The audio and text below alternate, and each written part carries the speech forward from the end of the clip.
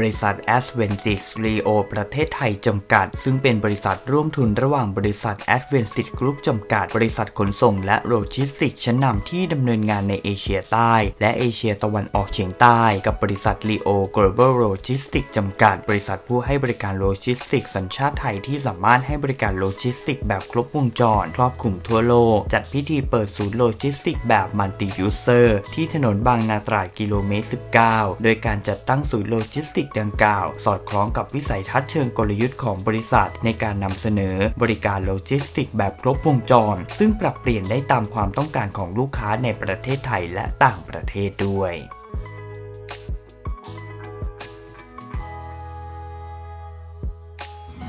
การเปิดตัว Logistics Center แห่งใหม่ ซึ่งเป็นธุรกิจที่ทาง a v a n t i s Leo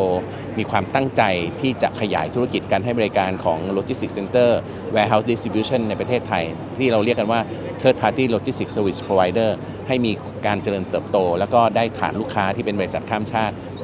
ให้ได้มากที่สุดนะครับเพราะฉะนั้นวันนี้เราก็เลยจัดพิธีเปิดตัวในวันนี้ครับผมก็เหมือนที่มิสเตอร์แรนดี้ก็พูดนะครับว่าเราเป็นลักษณะของ Customize นะครับก็คือเราจะมีการ พูดคุยกับลูกค้านะครับว่าความต้องการของลูกค้า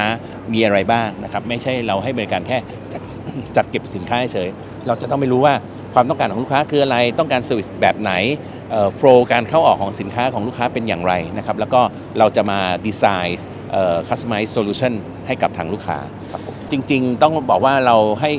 ร่วมมือกันในลักษณะของเรื่องของการขนส่งสินค้าระหว่างประเทศก่อน เรารู้จักกันมา ผมว่าน่าจะเป็น 10 ปีแล้วนะครับ แล้วก็จริง ๆ การพูดคุยเนี่ยมีตั้งแต่ช่วงก่อนโควิดนะครับ แต่ว่าพอโควิดเราก็หยุดหยุดกันไป แต่พอหลังจากโควิดแล้วก็กลับมาแล้วก็มา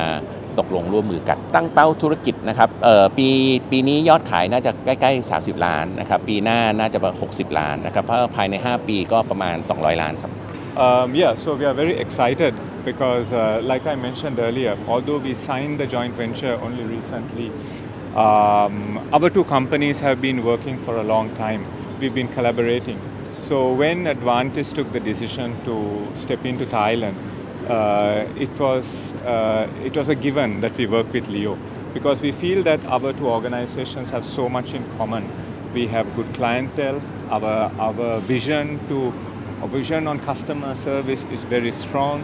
um, and we want to, we want, like I said on stage, uh, we bring the technical know-how, and Leo opens up the market with the local uh, know-how, and therefore we feel that it's it's it's bound to be a success.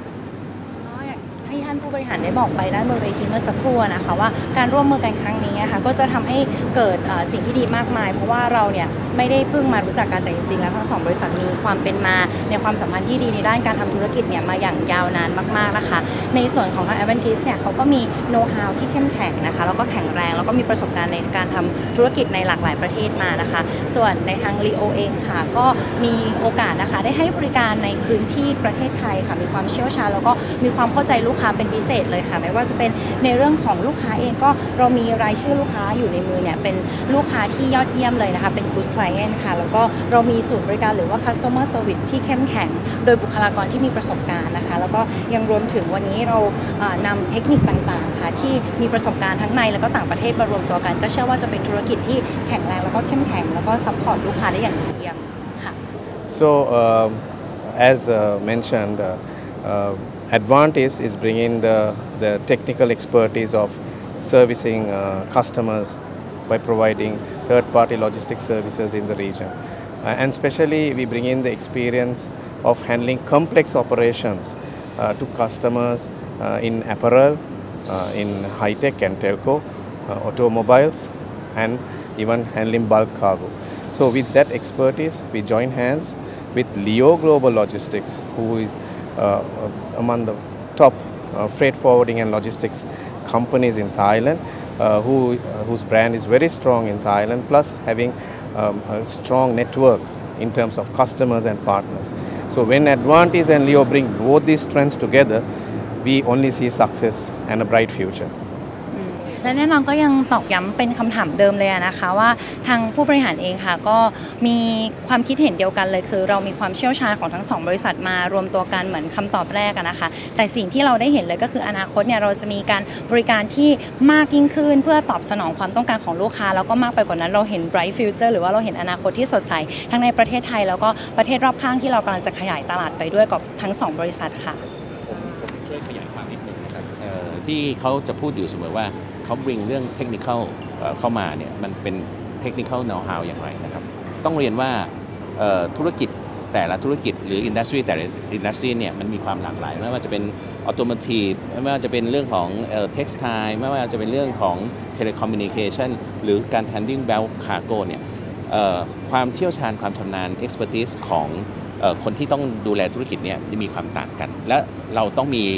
เราเรียกว่า logistic engineer นะครับซึ่งเรียนมาโดยเฉพาะเพื่อจะว่าจะต้องมาจัดการกระบวนการต่างๆ สิ่งที่เป็นจุดแข็งของ a d v a n t i s ก็คือเขามีทีม ซึ่งมีความเชี่ยวชาญแต่ละทีมที่อยู่ที่ headquarter หรืออยู่ใน regional เมื่อใดที่เราเจอลูกค้าแต่ละรายที่มีความต้องการที่แตกต่างกัน เขาก็จะนำทีมของเขาเนี่ยเข้ามาช่วยสร้างโซลูชันให้กับลูกค้าแต่ละราย ไม่ใช่ว่า 1 คนสามารถ handle ทุกธุรกิจ เป็นไปไม่ได้ แต่เนื่องจากความหลากหลายของเขาที่ headquarter แล้วก็ regional เนี่ยซึ่งเขาสามารถดูแลลูกค้าที่แตกต่างกัน เวลาที่เขามี enquiry ลูกค้าแต่ละราย เขาก็จะนำทีมของเขาบินเข้ามามาพูดคุยกับลูกค้าเอ่อต้อง get requirement เสร็จแล้วก็สร้าง solution ให้ตรงตามความต้องการของลูกค้า และตรงตามธุรกิจของลูกค้าแต่ละราย ซึ่งมีความแตกต่างกันด้วย เพราะฉะนั้น expertise ที่เขามีก็คือว่าประสบการณ์ที่เขาเคยให้บริการลูกค้าในแต่ละ industry ที่แตกต่างกัน แล้วมาสร้าง customize solution ให้กับลูกค้าครับผมก็ปีนี้น่าจะใกล้ๆ 30 ล้านนะครับปีหน้าประมาณ 60 แล้วก็ดับเบิลแต่ภายใน 5 ปีเนี่ยเราตั้งไว้ 200 ล้าน